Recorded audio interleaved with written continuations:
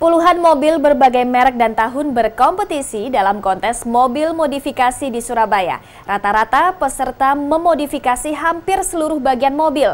Bahkan ada mobil tahun 90-an berharga 70 juta dengan biaya modifikasi mencapai 1 miliar rupiah.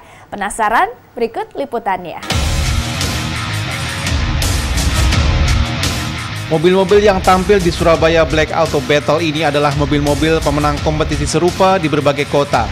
Di Surabaya, mereka diadu kembali untuk menentukan mobil siapa yang modifikasinya paling baik. Kategori kompetisi adalah penampil terbaik, audio terbaik, dan modifikasi terbaik. Kalau dibandingin sama tahun lalu, untuk modifikasi yang saat ini itu jauh lebih jauh lebih kreatif ya gitu. Jadi maksudnya banyak teknologi-teknologi baru yang dimasukkan di dalam modifikasi mobilnya itu. Sebagian peserta benar-benar mengubah hampir semua bagian mobilnya. Seperti Toyota Crown 1992 yang diubah menjadi mobil Dodge yang pernah terkenal di periode 1950-an. Ada juga Daihatsu Hijet 1000 tahun 85 yang interiornya diubah menjadi mirip sedan.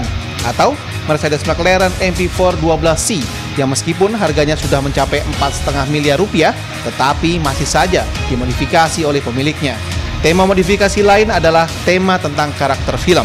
Contohnya adalah ini, basicnya adalah Honda Fit 2014 dan pemiliknya orang dari Tuban itu memodifikasi hampir keseluruhannya dari mulai sunroof, kemudian engine, eksterior, interior, wheel, audio juga dimodifikasinya nyaris tidak meninggalkan satupun barang orisinal milik Honda Fit. Temanya adalah Transformers dan mobil ini mewakili seperti halnya Transformers. Interiornya penuh dengan ornamen-ornamen Transformers, pintunya dibuka dan dilepas serta dikendalikan oleh 14 remote control.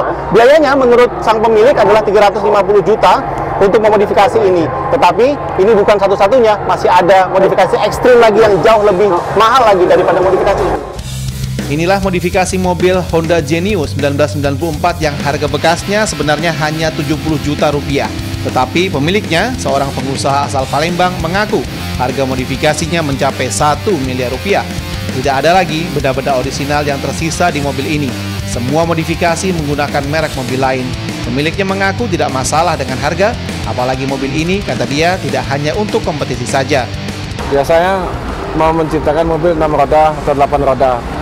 Cuman kan kalau mobil 6 roda, 8 roda, itu kan susah. Basicnya susah buat dibawa jalan harian.